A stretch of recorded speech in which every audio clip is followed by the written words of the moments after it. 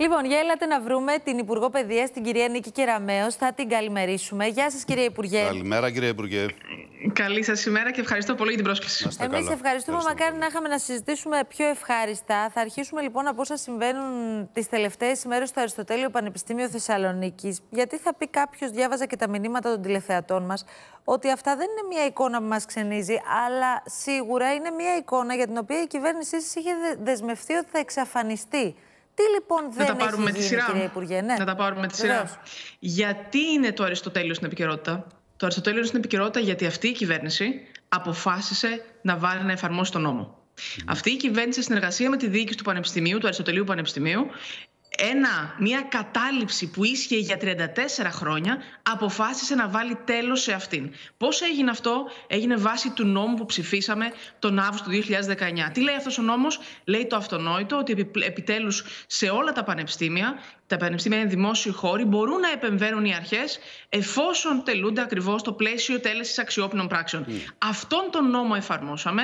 Αυτή την ναι, κατάληψη πήγαμε να σπάσουμε. πράξεις, κυρία Υπουργέ. Δεν είναι το μία πετύχαμε. Φορά. Πότε θα, τελειώσει, λέμε αυτό. Εμείς λοιπόν, χαιρόμαστε που ψηφίστηκε αυτός ο νόμος και η κοινωνία είπε μπράβο και εφαρμόζεται, κλπ. Εφαρμόζεται, το λέω και σε συνέχεια και τη προηγούμενη κουβέντα που είχατε και με τον κυβερνητικό μας εκπρόσωπο. Ναι. Εφαρμόζεται αυτός ο νόμος. Γι' αυτό είμαστε εδώ. Επειδή ακριβώς πήγαμε να βάλουμε τέλος σε έναν παραλογισμό. Ποιος είναι ο παραλογισμός, 34 χρόνια. Ένας χώρος δημόσιου πανεπιστημίου τελείωσε υποκατάληψη. Βάλαμε τέλος αυτό και στη θέση αυτού η διοίκηση του πανεπιστημίου και μπράβο της χτίζει μία βιβλιοθήκη. Με την, Τώρα με την εφαρμογή του νόμου, όπως λέτε κυβερνητικό μας εκπρόσωπος προηγουμένως, τα οποία αντιστέκονται. Ε, θα μπει ένα τέλος σε αυτή ναι, την ιστορία. Με την και εδώ εφαρμογή όμως... του νόμου, όμως, κυρία Κεραμέο, επιτρέψτε μου, όπως λέτε, αν, γίνεται σωστή εφαρμογή, αν γινόταν σωστή εφαρμογή του νόμου, φαντάζομαι δεν γκρεμιζόταν το κτίριο. Δηλαδή το γεγονός ότι 500 τύποι μπήκαν μέσα, έκαναν πάρτι και τελικά μας έχουν μείνει αυτές οι εικόνες που βλέπουμε που δεν είναι χώρος πανεπιστημίου αυτό, σημαίνει ότι κάτι δεν έχουμε Κυρία κάνει καλά. Είναι μια τεράστια μάχη αυτή και είναι μια μάχη δεκαετιών.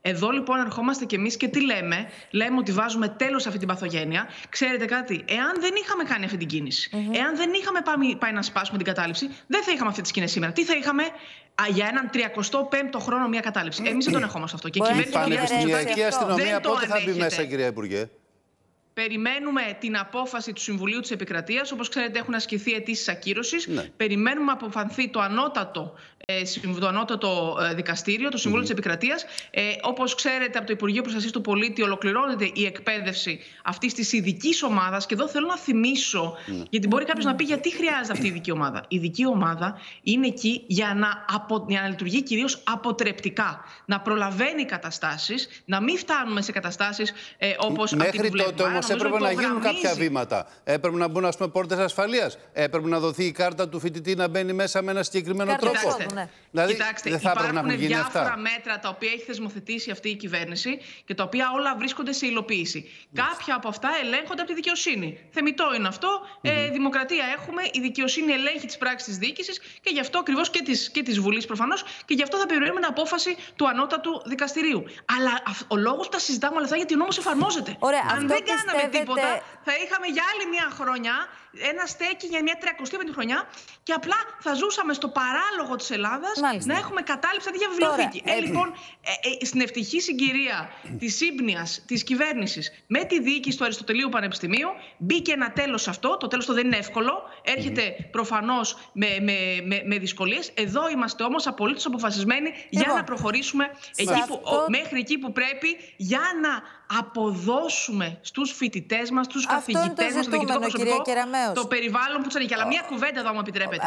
επιτρέψτε μου να σας ρωτήσω και θα την πείτε την κουβέντα. Σε αυτή δύσκολη, λοιπόν, σε αυτό το δύσκολο δρόμο που διαλέξατε, ε, ε, φέρνοντας αυτό το νόμο και εφαρμόζοντας, όπως λέτε, αυτό το νόμο, που υπάρχουν όλα αυτά τα ζητήματα που βλέπουμε. Εσείς πιστεύετε ότι αυτό μπορεί να χειροτερέψει; Σήμερα, για παράδειγμα, φιλοξενήσαμε εκπρόσωπο των αστυνομικών, που οι άνθρωποι χειρίζονται και την κατάσταση και αυτές τις κρίσεις, και μας είπε ότι αν συνεχίσουμε έτσι, δεν αποκλείεται παρόμοιες εικόνες να δούμε και στην ΑΣΟΕ, για παράδειγμα, ή σε άλλα πανεπιστήμια της χώρας μας. Αυτό φοβάστε ότι μπορεί να, να πούμε το εξής. Σας το επισήμανε και ο κύριος Οικονόμου προηγουμένως. Ε, είναι λογικό να επικεντρώνεστε κι εσείς ως μέσα μαζικής ενημέρωσης σε συγκεκριμένες εικόνες, διότι αυτό είναι στην πυρότητα αυτή τη στιγμή. Πλην όμως έχουμε τόσα πολλά πανεπιστήμια στη χώρα που δεν έχουμε κανένα πρόβλημα πλέον. Κανένα. δηλαδή, εστιάζουμε σε μεμονωμένες περιπτώσεις mm-hmm. όπου υπάρχουν ζητήματα. Η μεγάλη εικόνα, η μεγάλη εικόνα τα πανεπιστήμια μας λειτουργούν πολύ καλύτερα από ό,τι λειτουργούσαν αναφορικά με το ακαδημαϊκό περιβάλλον. Ναι, υπάρχουν κάποιες αιστείες mm-hmm. ακόμα και γι' αυτόν ακριβώς το λόγο πάμε στην υλοποίηση όλων αυτών που έχουμε ήδη ψηφίσει, προκειμένου να αναβαθμίσουμε συνολικά. Να πούμε ένα-δύο πράγματα ακόμα, κύριε Υπουργέ, δεν προλαβαίνουμε. Προκαλεί, προκαλεί, κύριε Οικονόμου, αλγινή εντύπωση το εξής. Είναι δυνατόν μετά από 34 χρόνια να σπάει μια κατάληψη και να πάει να χτιστεί μια βιβλιοθήκη που είναι το φυσικό, αν θέλετε, ε, ε, ένας, ένας φυσικός χώρος σε ένα πανεπιστήμιο προφανώς, και η αντιπολίτευση να μην λέει κουβέντα. Να μην λέει κουβέντα. Εντάξει, είναι δυνατόν. Κρίνεται γι' αυτό και η αντιπολίτευση, κύριε Υπουργέ. Προφανώς όλοι κρίνονται. Λοιπόν, μία κουβέντα Εδώ, θέλω λοιπόν, να μας πείτε, κυρία Κεραμέως, για να προχωρήσουμε. Να, να σας δώσω μία είδηση. Παρακαλώ. Να σας δώσω μία είδηση, μου επιτρέπετε; Βεβαίως, ναι. Ανοίγει σε λίγο η πλατφόρμα mm -hmm. για το βάουτσερ στους εκπαιδευτικούς. Μάλιστα. Ναι. Πολύ ωραία. Λοιπόν, Πόσα είναι τα χρήματα; Για πρώτη φορά, για πρώτη φορά κυβέρνηση δίνει οριζοντίως άνευ κριτηρίων, χωρίς mm -hmm. να λαμβάνουμε υπόψη κοινωνικά, οικονομικά κριτήρια, σε όλους τους εκπαιδευτικούς της χώρας, είτε αυτοί υπηρετούν σε δημόσιες εκπαιδευτικές δομές, είτε υπηρετούν σε ιδιωτικές εκπαιδευτικές δομές, ενίσχυση 200 ευρώ για την αγορά τεχνολογικού εξοπλισμού. Ερχόμαστε λοιπόν να, κάνουμε, να δώσουμε μια έμπρακτη, σε μια έμπρακτη κίνηση συμπαράστασης και αναγνώρισης του πάρα πολύ σημαντικού έργου των εκπαιδευτικών μας. Ένα πολύ μεγάλο ευχαριστώ για το τεράστιο έργο που έχουν επιτελέσει. Πλησιάζει η ώρα των πανελλαδικών. Μία κουβέντα για αυτό, αν είναι όλα έτοιμα, κυρία Υπουργέ, και στα γενικά λύκεια και στα επαγγελματικά λύκεια. Και αν θα έχουμε αλλαγές που θα προβληματίσουν. Όλα έτοιμα. Οι εξετάσεις ξεκινάνε 2 Ιουνίου για τα επαγγελματικά λύκεια, 3 Ιουνίου για τα γενικά λύκεια. Μάλιστα. Ανακοινώσαμε πιο νωρίς από προηγούμενες χρονιές το πρόγραμμα για να επιτρέψουμε το βέλτιστο προγραμματισμό συνολικά της εκπαιδευτικής ε, κοινότητας. Τα σχολεία μας, όπως ξέρετε, τελειώνουν 20 Μαου τα λύκεια, 30 Μαου τα γυμνάσια, 15 Ιουνίου τα δημοτικά. Mm -hmm. Και έχουμε κάνει σημαντικές κινήσεις για να έρχονται όλα πιο νωρίς. Θα το πω με ένα παράδειγμα. Οι, οι μαθητές που έχουν σοβαρές παθήσεις χάνανε ένα εξάμεινο για να εγγραφούν στο Πανεπιστήμιο. Υπήρχαν χρονιές πριν από τη δική μας κυβέρνηση που οι εγγραφές γινόντουσαν Δεκέμβριο-Ιανουάριο. Πλέον θα κάνουν όλοι μαζί εγγραφές. Θα μου πείτε αυτονόητο.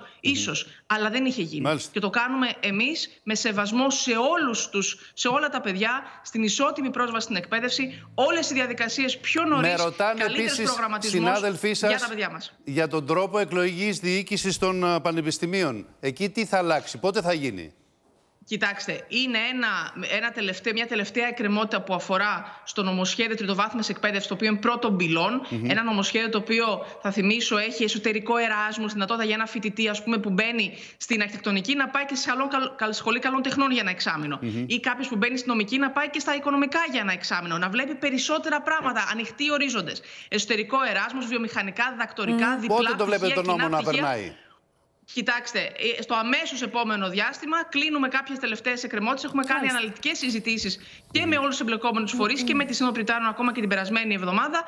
Θα είμαστε σύντομα σε θέση να ανακοινώσουμε το τελικό σχέδιο νόμου. Είναι ένας νόμος πλαίσιο για τα πανεπιστήμια και με αυτό πρέπει να σας πω, κύριε Οικονόμου, κυρία Νασοπούλου, φτάνουμε στο 100% σχεδόν των προεκλογικών μας εξαγγελιών για την παιδεία. Πολύ ωραία. Ευχαριστούμε, κύριε Κεραμέο. Ευχαριστούμε, κύριε Υπουργέ. Ευχαριστούμε πολύ. Καλή σας ημέρα. Ευχαριστούμε πολύ πολύ. Να είστε καλά. Είμαστε κι εμείς όμως, παιδί μου. Τρέχουμε όλη την ώρα. Ε, παιδί μου, εντάξει, δεν προλαβαίνουμε. Μπαίνουν και οι υπουργοί σε αυτό το τρέξιμο. Όπως βλέπουμε. Είναι και αυτοί αγχωμένοι μαζί με εμάς. μία ερώτηση πάνω στην ναι, άλλη ναι, ναι. ερώτηση.